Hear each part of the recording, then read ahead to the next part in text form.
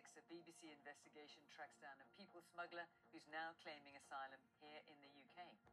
He's Vietnamese and claims to have helped over a thousand people cross the channel in small boats. I'm good at this work. People trust me. I never fail. How do you justify what you do here? You've come to the UK illegally. You're still breaking the law. I just do paperwork. I don't force them to take certain routes. This has been the deadliest year so far for lives lost crossing the channel. Also on the programme, Keir Starmer says the cap on bus fares in England will be raised in the budget from two to three pounds. After months of speculation, Manchester United call time on Erik Ten Hag. He's sacked after a run of poor results.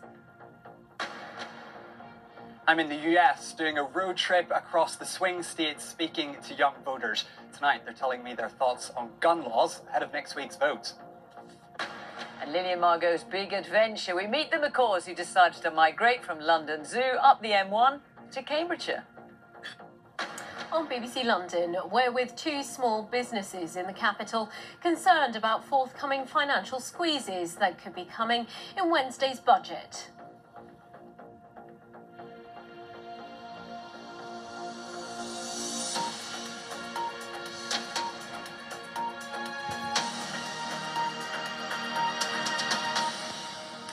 Good evening and welcome to the BBC News at 6. A Vietnamese people smuggler who entered the UK illegally this year in a small boat has told BBC News he's forging visa documents for other Vietnamese who want to come here.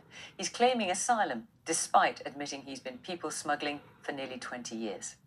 So far in 2024, nearly 30,000 people have crossed the channel in small boats. That's more than all of last year. Over 50 people have died attempting the crossing this year, making it the deadliest on record. And now, at close to 17%, migrants from Vietnam have replaced Afghanistan, Iran, and Syria as the biggest source of people making illegal crossings. It's a very lucrative business. After investigation lasting many months, Andrew Harding tracked down one people smuggler who agreed to tell him about the illegal trade and his role in it. Beside me on the sofa is a people smuggler a prolific criminal now living here in Britain, a man who's still helping people to reach this country illegally. We'll call him Tan. It's a very lucrative business. If you have a good reputation, the clients come to you. No force, no violence. Tan came to the UK earlier this year. He was part of a sudden rush of people from Vietnam using small boats to reach our shores. In the migrant camps in northern France, I'd already met groups of Vietnamese waiting to cross the channel. They told me they were in debt back home and were being trafficked to the UK by criminal gangs. Already in Britain and claiming asylum, Tan agreed to meet me, and we agreed to keep his identity confidential in return for valuable information about the smuggling gangs. He soon began to reveal his life of crime and of lies. You told the British authorities you'd been trafficked here, but that's not true, is it? No, I was not trafficked here. I said I was, because that's just the way it's done. It's what you say in order to get asylum. But human rights groups insist trafficking from Vietnam is widespread in Britain.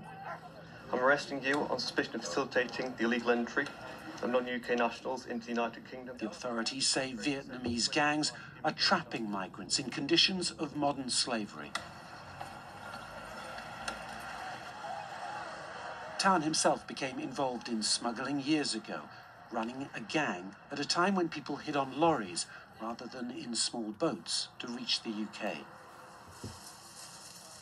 Later, he moved back to Vietnam for a while and began forging documents for people trying to get visas to Europe. He's showing me here some of the documents that he's actually forged. Uh, he's got copies on his phone. One is for a bank statement, another is for some pay slips. And this is a Hungarian visa, a, a genuine visa that one of his customers was given on the basis of his forged documents. And he's still forging and boasting of bribing banking officials in Vietnam to provide false paperwork. I'm good at this work. People trust me. I never fail. How do you justify what you do here? You've come to the UK illegally. You're still breaking the law by assisting other people to come here illegally. At the same time, you're taking British taxpayers' money to be fed, to be sheltered here in the UK. I just do paperwork. I help people to travel. I don't force them to take certain routes. I think a lot of British people watching this will not buy that. They will say that you are a criminal and that you should hand yourself into the police. I don't think I'm breaking the law here. I'm only breaking the law in Vietnam. Why have you chosen to talk to us, to tell us all this about all the crimes that you've been party to? I want people in Vietnam to understand the truth that life here is no better. They should stay at home rather than make a dangerous journey and get deeper into debt. But back in France, the smuggling goes on. And we're now trying to contact a different and elusive Vietnamese gang operating near Dunkirk. Looks like the plan is working. My colleague here, she's been posing as a Vietnamese migrant. She's now in touch with one of the smugglers. And that's him on the phone now, telling her, let's meet, and to follow his instructions. Wearing a secret camera to allow us to see the gang's work up close, our colleague heads to a rendezvous point. We follow at a distance. The smuggler talks money £2,600 for a small boat ride to Britain. But now he wants her to move away through a fence and into the woods. Hands on head, she signals that she's not comfortable with that. And we move in. Hello. Hello, guys. And there's the smuggler, dyed blonde hair, retreating fast. So we know for sure that that was our Vietnamese smuggler. He disappeared into the forest here. We're not going to pursue him. We know a lot of these gangs are armed. There's been a lot of violence around here. But I think what we can say for sure is that the Vietnamese smuggling business is continuing and is clearly very lucrative. Well, Andrew's with me now. Andrew, that investigation is revealing and horrifying. Are there any signs from your conversations with this people smuggler that the various government attempts to try and stop these illegal crossings is making any difference? The statistics don't lie. The numbers are up this year. And from what we've seen in the camps uh, around Calais, Dunkirk, there are still many people who are not deterred at all. Families, young kids, not deterred by the deaths in the channel. We have seen some success from the French police. They are reducing the number of boats managing to get into the water, they're slashing them on the beaches. There's some success in breaking up some of the gangs and disrupting their logistical supplies. And yet, what we've seen in this investigation is that these networks spread way beyond Europe all the way to Vietnam. People use burner phones. They can cross international borders very easily with forgeries or now with, you know, across Europe with open borders. So it is very, very difficult for this wide array of police forces to actually make a significant impact on these gangs. Andrew, thank you. Sir Keir Starmer says there are tax rises to come in a speech ahead of Wednesday's budget, but that what he calls working people will be protected. He promised the money will be used to rebuild public services and that he will prevent a return to what he called devastating austerity. The Conservatives say Labour haven't been straight with the British people. Our deputy political editor, Vicky Young, sent this report from Birmingham. There's a lot of detail to get right when you're preparing for a special occasion, and the run up to the big day can feel like it's dragging on a bit. There won't be many gifts in Keir Starmer's first budget, and he's blaming that on his Conservative predecessors. Today, he promised change. Stability to prevent chaos, borrowing that will drive long term growth, tax rises to prevent austerity and rebuild public services. We choose to protect working people. We choose to get the NHS back on its feet. Ministers have struggled to define exactly what they mean by working people, but the latest promise is to protect their pay slips. It is likely that employers will have to pay more national insurance. You're promising to be honest with people, but isn't this turning out to be a budget of sneaky tax rises? You're putting up employers' taxes, which will be passed on to the working people that you say you want to protect. The purpose of the decisions that we're making uh, this week are to ensure that we do stabilise our economy uh, and ensure that we've got the foundations to rebuild our country. And that is vitally important. But the Conservatives say the Prime Minister's not being straight with people. He's going to increase taxes. So, after saying 50 something times during the general election campaign that Labour would not increase taxes on working people, it's now very clear that they're going to do just that.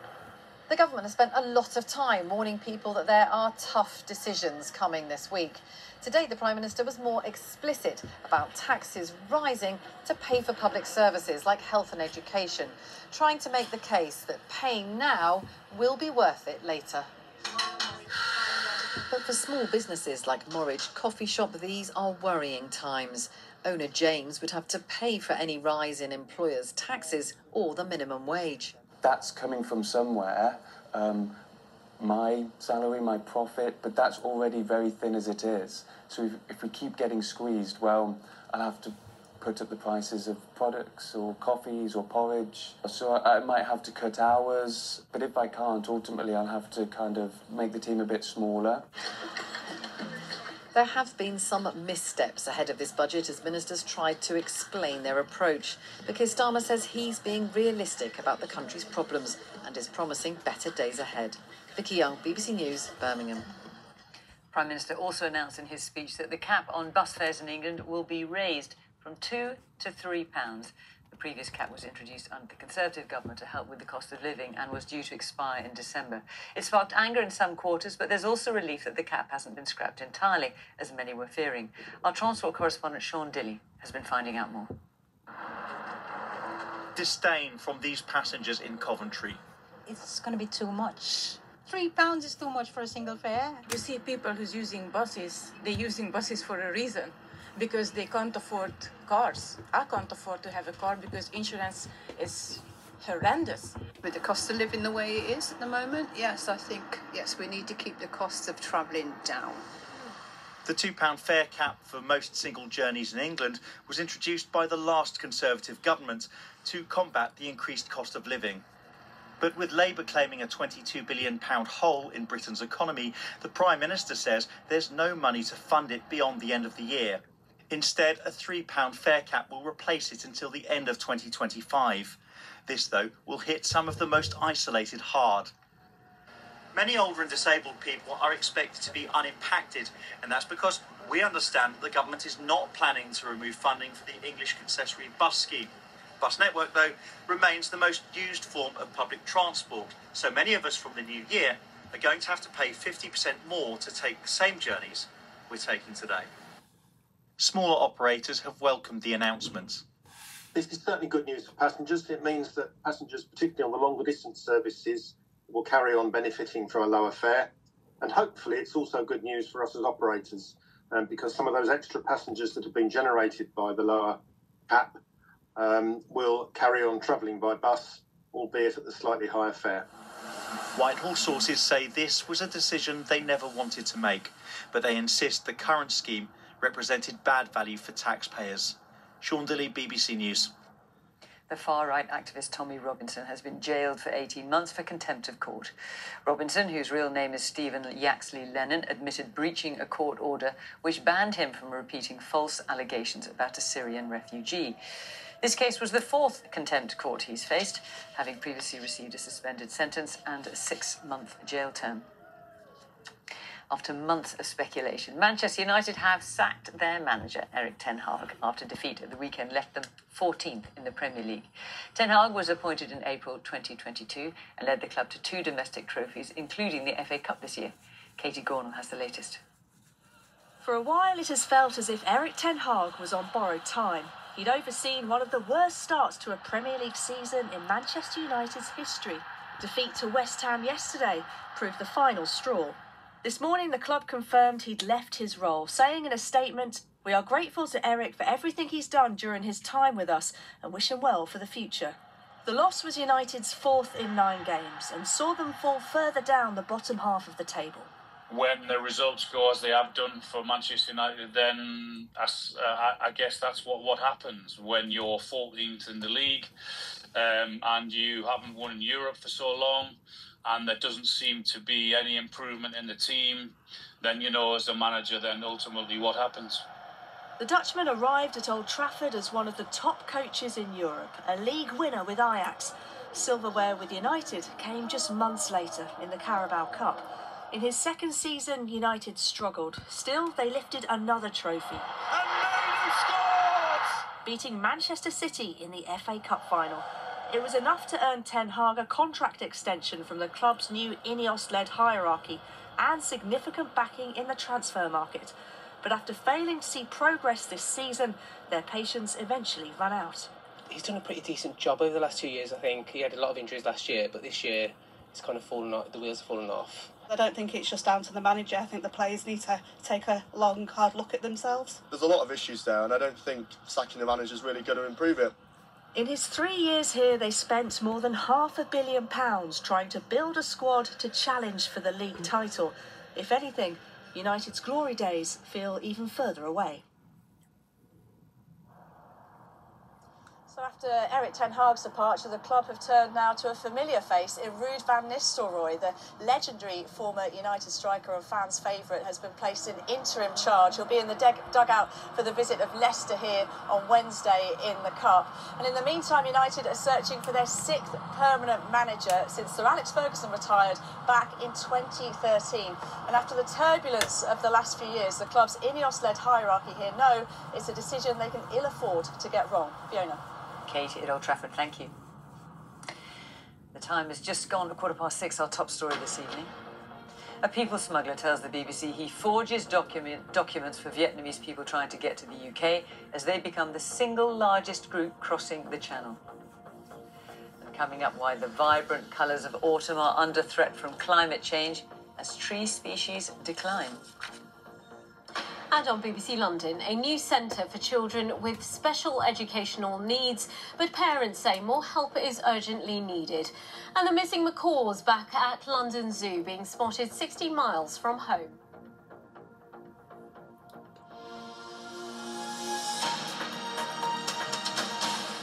Fertility rates in England and Wales are at their lowest level since records began in 1938. The latest figures for last year from the Office for National Statistics say the rate has fallen to an average of 1.44 children per woman. Our chief economics correspondent, Darshini David, is here. And Darshini, you've been going through the numbers. Indeed, Fiona, thank you. Because it's a global trend. Women are having fewer children than their mothers, but it may only be partly out of choice. Let's take a look back at England and Wales over the last 85 years, and the trend has been one of falling fertility rates, particularly with more effective contraception, equal pay, and more women than men going to university. Now, by last year, women were having fewer than 1.5 children each. However, surveys suggest that's fewer children than many actually want, partly because economic forces are against them. Rising childcare costs can take up a quarter of a couple's pay, and rising property prices mean most people are now over 35 before they can get on that housing ladder. Meanwhile, the gender pay gap for women really opens up after they have children. All of this may make people hesitate before starting or adding to a family. Along with higher life expectancy, the lower birth rate is changing the face of our population. These 100 dots represent the UK population as it was in the early 1970s. Now, this section here in red are the over 65s, just one in seven of people. The blue dots are the under 16, just one in four. In 2024, the number of older people had increased while the number of under 16s had fallen. And in 50 years from now, just under a third of the population will be over 65, and just one in seven will be under 16. In the meantime, the proportion of us of working age, that green bit in the middle, is set to shrink, which affects government spending, as shown in this chart. All of this is what the government spends, and over half already goes on debt interest, health, social care, and welfare. And an older population means that will only increase. Official estimates also suggest we'd have to borrow more, meaning the interest payments needed to fund that, that's the blue section, would also soar. Now, that's a hefty burden for a shrinking number of taxpayers. So, what feels like, or may feel like, an unaffordable luxury for would be parents today could have national repercussions for decades to come. Fiona. Darshini, thank you. Now, with just over a week to go until the US election, Radio 1 Newsbeat is traveling across America talking to young people about issues that matter to them and about how they'll be voting on the 5th of November. The first stop for political reporter Jordan Kenny is Atlanta, Georgia, one of the seven swing states where this election will be won or lost. Georgia is a young state with a high share of potential voters under 30. It was won by Joe Biden for the Democrats in 2020 with a small majority of just 12,000 votes. Jordan Kenny sent us this report from Atlanta. Atlanta, a city of the South. I'm here as both candidates are neck and neck and targeting young voters.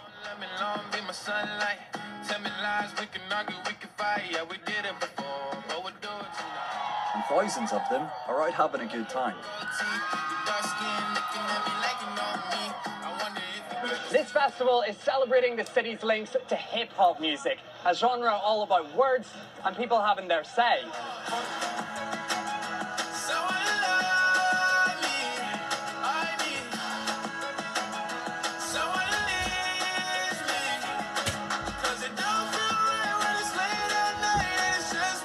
But between the performances, If you have voted already in early voting, the election is a hot topic. You haven't decided yet who you're going to vote for. No, it's it's undecided. We're definitely undecided. Yeah. Go vote, okay? Georgia has some of the most relaxed gun laws in the country, and gun control is thought to be one of the top issues for young voters. I am an expert shot. I, I do practice um, safety as far as guns in my home, but I do believe that everyone should have the right to protect themselves. I don't feel like guns is a bad thing. I feel like it's the person that's that's that's holding the gun. I feel like we just got to figure out a way to like control the gun violence. Have you decided who you're going to vote for, or is your vote still up for grabs? It's still up for grabs right now. Is yours up for grabs? No, Who are you going to vote for? I'd rather not say.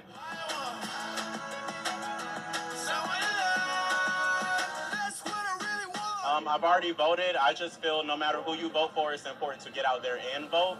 Um, I personally am pro guns just because um, I've been in certain situations uh, where I wish I had a gun. Like, I went to a party in college and it got shot up. Hi, my name is Sebastian. I guess this is a fit check. I got this sweater, Super Mario. Hey, I'm Brian I'm at the Well Music Fest. I feel like hopefully it goes in the direction I would like it to go. I'm a Democratic, so you know, I go vote for Kamala. So uh, before we come out here, a lot of people told us we're going to encounter some swingers in the swing states. You guys swingers? No. I want someone to love me. So while Sebastian and Brian have made their minds up, many other young Georgians are still waiting to be persuaded. So, what are the candidates promising on gun laws? Well, the Democrats' Kamala Harris has highlighted on the campaign trail she's a gun owner, but has made preventing gun violence a key pledge. As for her opponent in the Republican Party, Donald Trump, he's positioned himself as a strong defender of the right to bear arms.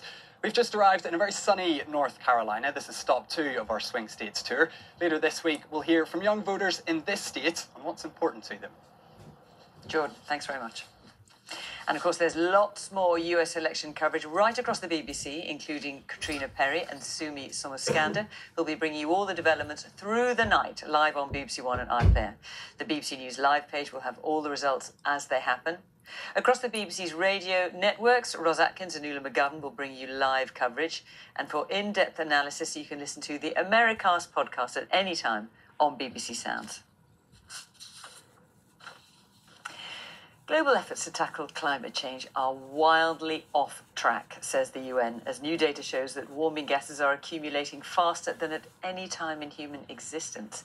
Researchers are also worried that forests are losing their ability to soak up carbon, which could be contributing to record levels of warming gas in the atmosphere, with more than a third of tree species facing extinction. Helen Briggs reports. Trees are vital to help clean the air we breathe, soak up carbon emissions, and provide a home for thousands of different birds, mammals, and insects. Yet it's been revealed that more than a third of trees around the world are in trouble. Experts here at Kew worked on the latest Extinction Red List, which found deforestation is a major threat to life on Earth. 38% of the world's trees are threatened with extinction, more than all the threatened mammals, birds, amphibians, and reptiles added together. So, a huge number of species, and these are found all across the world. In 192 countries, there is a threatened tree species. Um, so, yeah, there's, there's work to do everywhere. Extinction List is an ever growing tally of living things facing extinction, with more than 16,000 tree species at risk, like this Wollemi pine. And if you take away the trees, you lose habitat for other living things, from birds to mammals.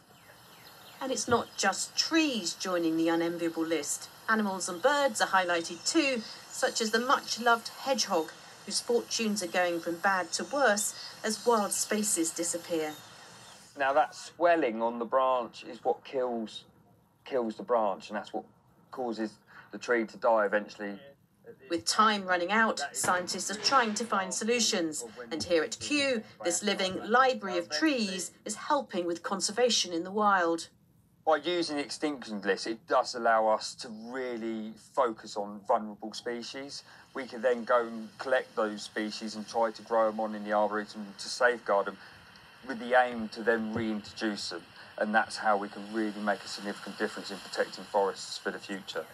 And as autumn sets in for these trees, it's hoped this new list can help focus conservation efforts where it's most needed and safeguard future forests.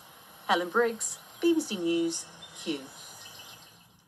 The Strictly dancer Amy Dowden is being replaced in training after she was taken to hospital during Saturday's live show. She returned to Strictly this year after undergoing treatment for breast cancer. She's said to be feeling much better, but fellow professional Lauren Oakley has taken her place today, training with the JLS singer JB Gill. Meet Lily and Margot. They're two critically endangered parrots who escaped from London Zoo a week ago while they were flying free as part of their daily routine. The sisters have now been found in Brampton in Cambridgeshire, around 60 miles away, as the crow, or in this case, the blue throated macaw, flies. Ellie Price has the story. I can't see it. Just at the top of that tree there. They weren't that easy to spot. Just as well they make a racket. Lily and Margot, after their half term week away, see their zookeepers and fly straight down from a tree onto their arms. Yes. Maybe they were homesick, but it might have been the pecans, walnuts, and pumpkin seeds. Very moreish from a cause, apparently. Are you super hungry? Lily and Margot took off during a display at London Zoo last week. They've taken detours and hidden in trees before, but never hightailed it. Have you seen these two parrots anywhere? Lily and Margot. are- Their disappearance sparked a nationwide appeal.